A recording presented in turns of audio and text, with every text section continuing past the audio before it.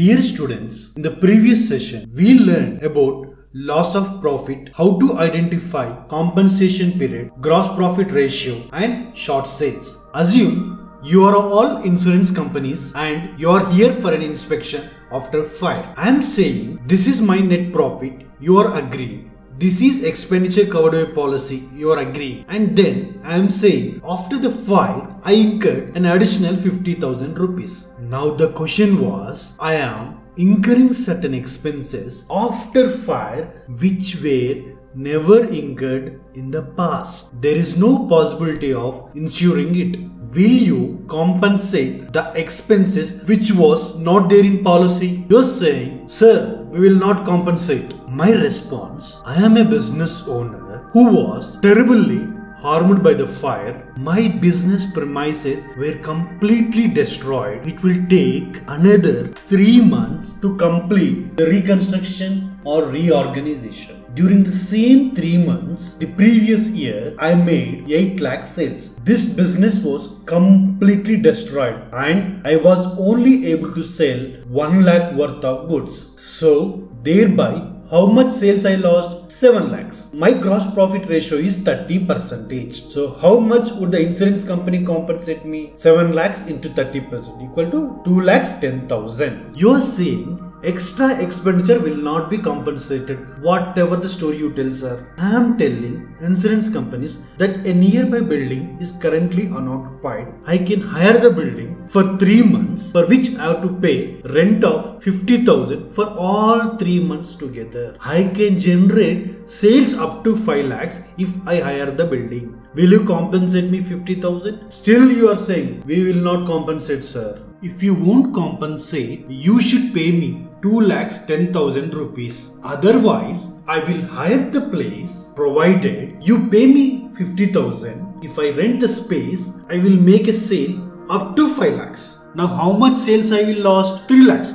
Don't think extra 5 lakhs sales I will make. Total sales 5 lakhs. So sales lost 3 lakhs. 3 lakhs into 30% equal to 90,000 insurance company have to compensate 90,000 plus 50,000 equal to maximum 1 lakh 40,000. You should pay 1 lakh 40,000. Now you decide you want to give me 2 lakh 10,000 or 1 lakh 40,000. Now insurance company convinced. As a result, the insurance company also compensate certain expenses which have never been incurred in the past which is not at all insured still insurance company is ready to compensate because insurance company getting benefits. You may ask one question, Nana. Sir, why incur additional expense? In any case, you don't incur also, businessman get 2 lakh 10,000 compensation. The question now is, why the businessman is willing to hire that place? Because no businessman wants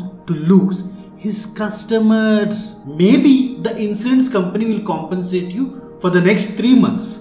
If I allow my regular customers to visit my competitors, they will become accustomed to their service and will never come back to us. I don't want to lose my customers, but at the same time, there is a benefit for the insurance company. Let us share the gain. Don't say that if insurance company says, don't say that we'll just give that gross profit ratio on short sales 3 lakhs into 30% 90,000. Then I will irritate better give me 2 lakh 10,000. As a result, insurance companies are encouraging me to spend additional expenditure in order to increase my sales after the fire for which insurance company agreed to compensate. So in addition to this gross profit, we will compensate one extra item through this policy which is known as additional expenditure or increased working expenditure or increased cost of working or increasing working costs. From the viewpoint of a businessman, he is not losing any of his regular customers. In the eyes of the insurance company, reducing the claim amount. So in this policy, there are two claims. Claim for gross profit ratio on short sale claim for increased working expense or claim for additional expenditure or claim for increased working costs. Now the question arises, sir,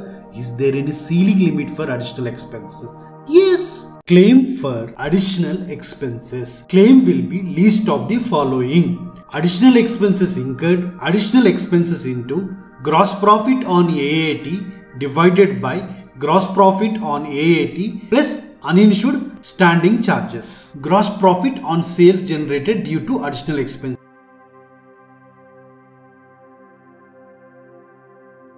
Claim will be lower of the following. Nana. What is AAT?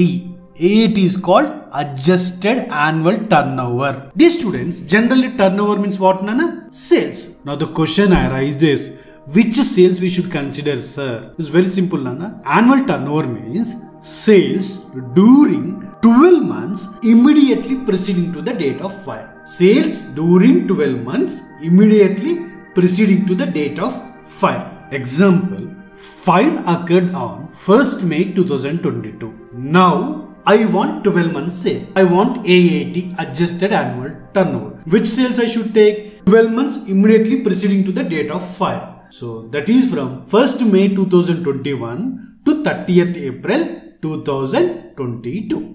Claim for loss of profit. Total 8 steps. Step number 1 compensation period, indemnity period or interruption period, whichever is earlier. How long the insurance company will compensate?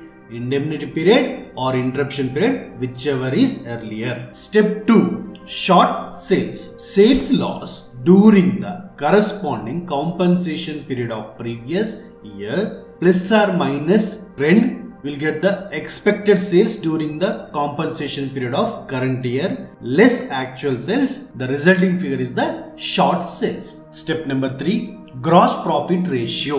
Gross profit ratio equal to gross profit divided by sales into 100. Here gross profit means what Nana? Net profit plus insured standing charges. Next one. Step number 4. GP on short sales. Step number 4 gross profit on short sales. Short sales into gross profit ratio. Step number 5. Gross profit on adjusted annual turnover. Adjusted annual turnover. Annual turnover plus or minus trend will get the adjusted annual turnover. What is my annual turnover? Sales during 12 months immediately preceding the date of fire. So GP on AAT equal to adjusted annual turnover into gross profit ratio. Step number 6 claim for additional expenses. Claim will be list of the following additional expense incurred additional expense into gross profit on AAT divided by gross profit on AAT plus uninsured standing charges. C. Gross profit on sales generated due to additional expenses. Step number 7. Gross claim. GP on short sales plus claim for additional expenses less savings in insured standing charges add firefighting expenses will get the gross claim. Eighth step